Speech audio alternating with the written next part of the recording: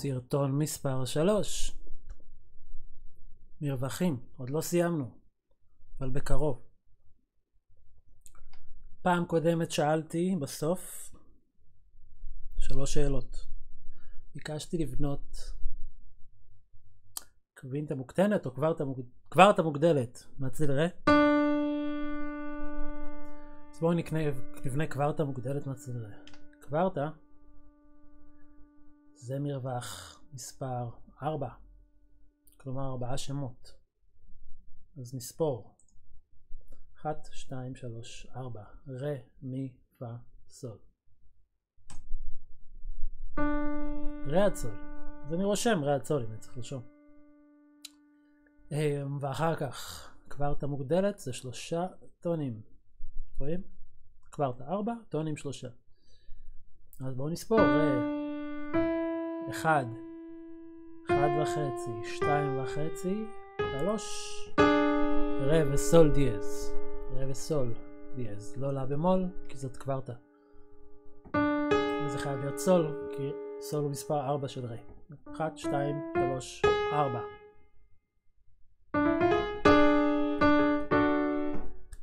השאלה השנייה הייתה, ביקשתי לבנות מפה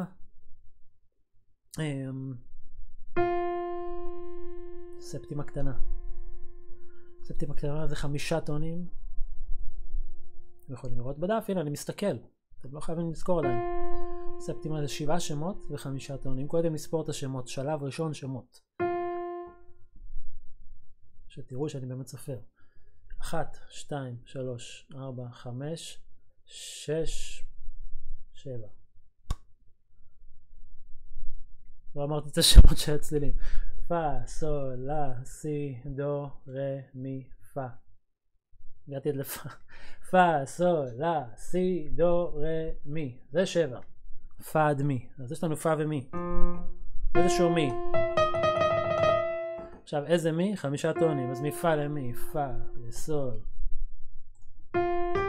אחד, סול ללה, שתיים, לה לסי, שלוש. סי לדו. שלושה וחצי טונים. דו לרה, ארבעה וחצי. אני צריך חמישה, אז אני מגיע למי במול, פה ומי במול. והשאלה האחרונה, ביקשתי מכם להגיד סי ודו, איזה מרווח זה? חצי טון, שני שמות. שני שמות, כי זה סי ודו, חצי טון, סקונדה קטנה. שלושת המרווחים האלה. סוג של נעד ממש לא סימפטי. מה מאפיין אותם?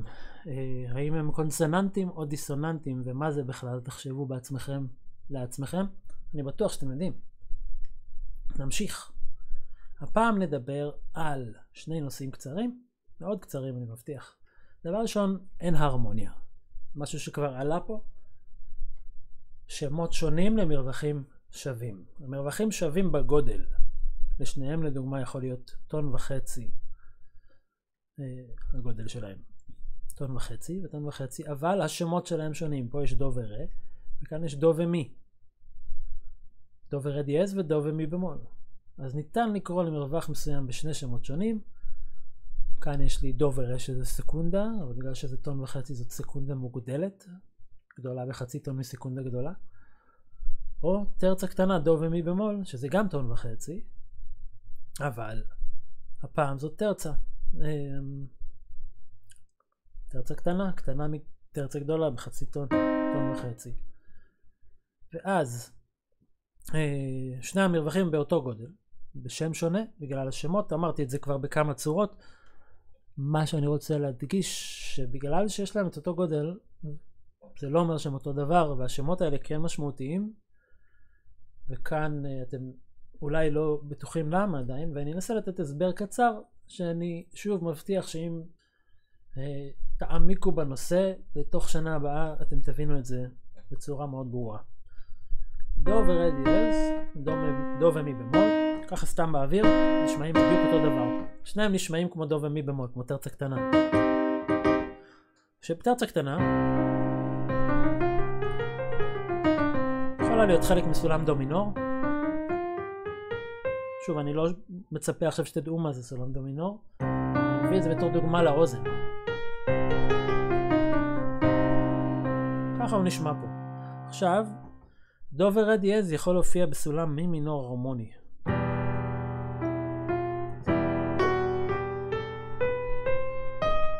רואים? זה מי, פה דיאז, סול, לה, סי, דו, רד דיאז, מי. זה הסולם, נלמד אותו בהמשך. אני חוזר לדו מינור, שכאן זה דו, רה, מי במול.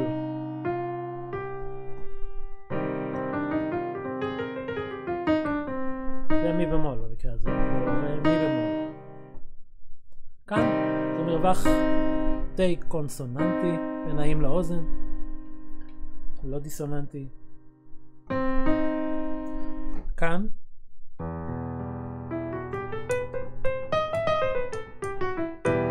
שזה נשמע טיפה מזרחי כזה, נכון?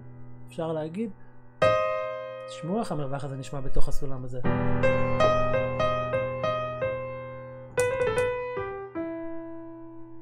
מבינים? הוא נשמע אחרת לגמרי. הוא דיסוננטי כאן. הוא חייב להיפטר לאנשהו. הוא לא נינוח. לעומת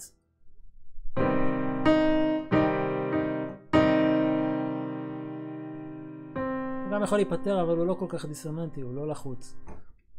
וזה ההבדל העיקרי ולכן אנחנו רושמים אותם באופן שונה, אנחנו מנסים לתאר איזשהו הבדל שקיים במציאות בין סיטואציות שונות בכל מיני הקשרים מוזיקליים. עד כאן אין הרמוניה. עכשיו נלך לנושא טיפה מורכב אבל שימושי, מרווחים משלימים. שימו לב לנוסחה הבאה, 4 ועוד 5 שווה 8, 6 ועוד 3 שווה 8, 2 ועוד 7 שווה 8. תשכחו את זה בשיעור מתמטיקה לטובתכם, אבל במוזיקה, במרווחים תזכרו את זה. מדובר על מרווחים משלימים לאוקטבה, ומה זה אומר? שני מרווחים משלימים לדוגמה, דו ומי. אם אני רוצה להשלים אותו לאוקטבה, אז המרווח הבא יהיה מי עד דו. רואים איפה אני מצביע כאן? שני המרווחים האלה. אז דו למי זה שלושה שמות, דו רמי, תרצה גדולה במקרה הזה. מי עד זה שישה שמות, מי, פה, סול, לה, סי, דו. סקסטה קטנה, ארבעה טונים. ארבעה טונים ושני טונים של התרצה הגדולה, ביחד זה שישה טונים שזאת אוקטבה. עכשיו זה מרווח מספר 3, זה מרווח מספר 6, לכן 3 ועוד 6 שווה לאוקטבה. עכשיו, מה הקטע? למה זה יוצא ככה עם, עם הסכום הזה?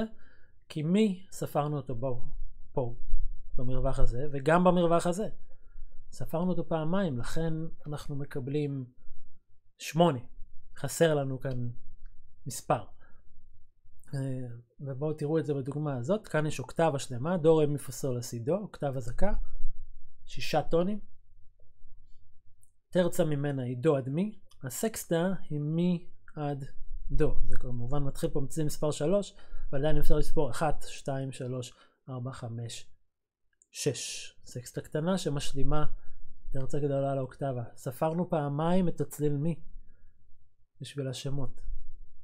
ולכן יוצא לנו 3 ועוד 6 שבחיים בדרך כלל אנחנו נקרא לזה 9, כאן אנחנו קוראים לזה 8. זה ההסבר. עכשיו בואו נראה את שאר המרווחים המשלימים ותשימו לב מרווח קטן תמיד ישלים גדול כמו סקסטה קטנה שמשלימה תרצה גדולה. תמיד זה הפוך. מרווח גדול תמיד ישלים מרווח קטן. זך ישלים זך.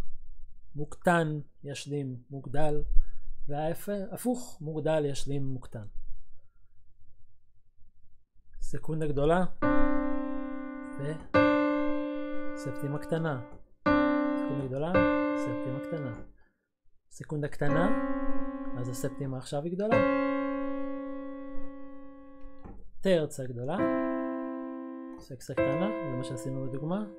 תרצה קטנה, הסקסטה היא גדולה. אם אתם זוכרים ששלוש ושש שווה שמונה. סכום תשע הוא בעצם אוקטבה, אתם יכולים למצוא בקלות את המרווח המשלים. קוורטה, שימו לב כאן, קוורטה זקה וקווינטה זקה. קוורטה מוגדלת והקווינטה עכשיו היא מוקטנת. הפוך. קווינטה מוקטנת וקוורטה מוגדלת. קווינטה זכה, קוורטה זכה, שניהם זכים. עכשיו כל הדבר שהיה פה חוזר אחורה. סקסטה גדולה משלים, משלימה אותה. טרצה קטנה. כמו שכאן טרצה קטנה השלימה אותה סקסטה גדולה, גם הפוך, דו ולה. סקסטה גדולה, לה ודו, טרצה קטנה. סקסטה קטנה, טרצה גדולה. ספטימה גדולה. וטרצ... וסקונדה קטנה, ותכף נדבר על זה, וספטימה קטנה, וסקונדה גדולה.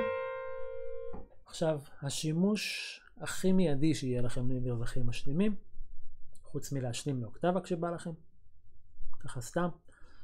אם אנחנו רוצים למצוא מרווח גדול כמו ספטימה, גם סקסטה, אבל ספטימה זה יותר מהותי, יותר קל מאשר לספור עכשיו את כל הטונים ואת מספר הצלילים, להשתמש במרווח משלים. נגיד, ספטימה גדולה אתם צריכים למצוא, דו וסי. לספור, לספור כמה טונים זה, זה הרבה לספור, זה אפשר להתבלבל בדרך. דו לרה וטון, טון, חצי, בדרך שוכחים איזה חצי ומתבלבלים. במקום זה, אם אני יודע מה המרווח המשלים של ספטימה גדולה, אני עולה אוקטבה, ועכשיו אני יורד למטה סקונדה קטנה, שזה הרבה יותר קל, זה רק חצי טון.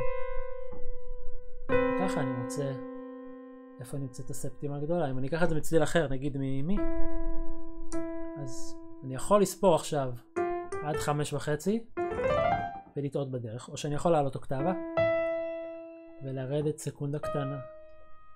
אז אני יורד שם אחד ממי, זה מי אוקטבה מעל.